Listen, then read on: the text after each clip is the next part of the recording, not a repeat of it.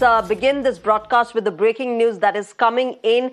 This is about the battle between Kerala governor versus the SFI, SFI workers' black protest against the governor. The governor was defiant amid the spate of protests. The Kerala governor said he will not be frightened by such protests. Remember, governor of Kerala, Arif Muhammad Khan. several times if the protesters will be, they will come near my car. I will step down.